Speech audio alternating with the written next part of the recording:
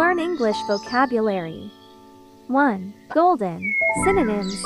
Gilded, gleaming, radiant.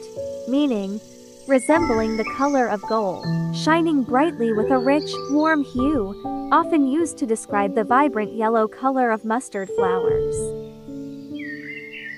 2. Blossom. Synonyms. Bloom, flourish, thrive, meaning, to develop or mature into a state of beauty and vigor, to come into full bloom or to flourish, often used to describe the process of mustard flowers opening and revealing their colorful petals.